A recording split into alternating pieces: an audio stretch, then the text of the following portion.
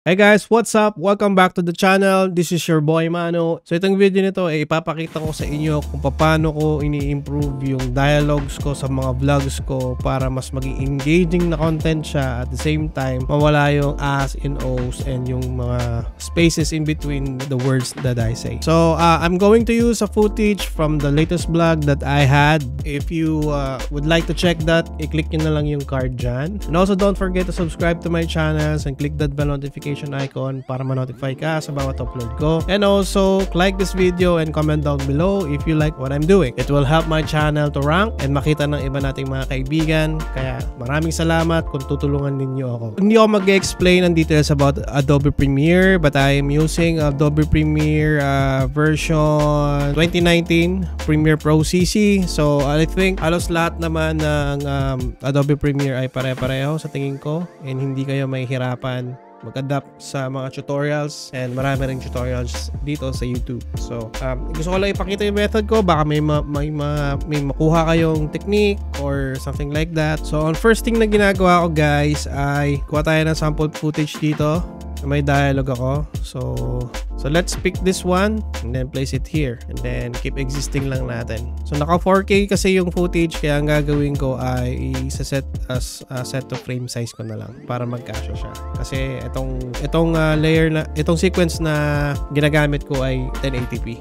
So kung mapapansin niyo waveform guys, may mga spaces yan. So nakaka-boring yan kapag pinapanood mo so hindi siya masyadong engaging. By using jump cut, mafi-fix natin siya and mas magiging engaging yung content natin. So ang ginagawa ko lang dyan, sobrang simple lang. Razor tool, letter C. Um, ito medyo long method to para sa mga beginners and dito na rin ako nasanay. Uh, kapag natutunan ko yung short method, magpo-post lang din ako sa YouTube channel ko na ito. Kaya huwag, huwag mong kalimutan na mag-subscribe dito kasi maraming cool stuff ka na makikita dito kasi kung ano-ano yung pinagagawa ko dito sa channel ko. So yan, uh, let's try to improve this. So first thing na ginagawa ko is yung pinaka simula Diyan ako nagka-cut, dinidelete ko na yan and then uh, nililinis ko na rin to by clicking and pressing delete sa keyboard. Tapos ang susunod ay uh, kinakat ko na rin yung mga spaces like that.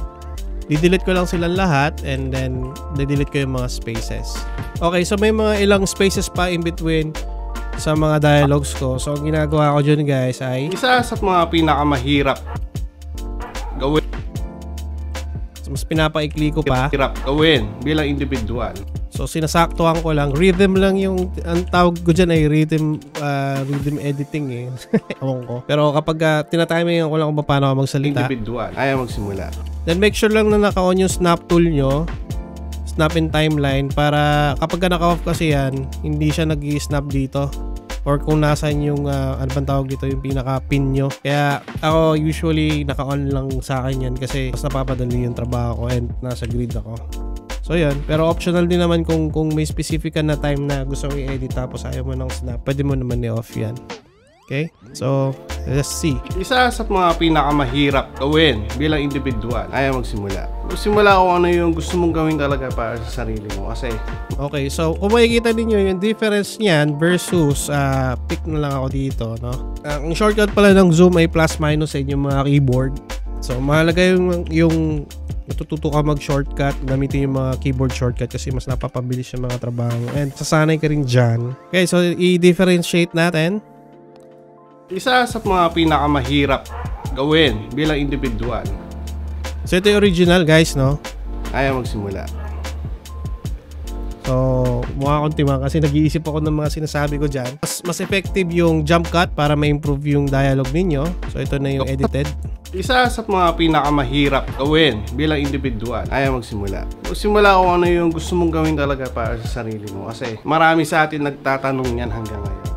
So yun lang guys. If you like this mini tutorial that I've done for you, please don't forget to subscribe to this channel. Click that bell notification icon para ma-notify ka kung ano-anong ginagawa ko rito. Nagigitara ako, nagda-drums ako, nagtuturo ako, and nagpa-vlog din ako pag nasa mood ako katulad nito. Uh, yun, develop lang natin self-confidence natin at maniwala lang tayo sa ating sarili na magagawa natin ng isang bagay. I'm sure na makakamit mo yan. And mag-practice tayo mag-practice. Iwasan nating mahiya. Let's try to be confident about what we're doing. Lalong-lalo na kapag alam natin ay doon tayo magaling. So yun lang guys, please watch that vlog also. Uh, ginawa ko yan para sa atin, lalo-lalo doon sa mga taong nahihirapan talaga mag-start ng YouTube channel. Ini-encourage ko kayo na, na i-unleash nyo yung inyong potential and power kasi napakasarap din talaga na meron kang outlet at, at, at na-discover ko na itong YouTube na to ay sobrang sarap na outlet. Uh, maging creative ka and at the same time, ma-share mo yung skills mo sa mga maraming tao. So maraming salamat. Please don't forget to subscribe, comment down below, and see you on the next video.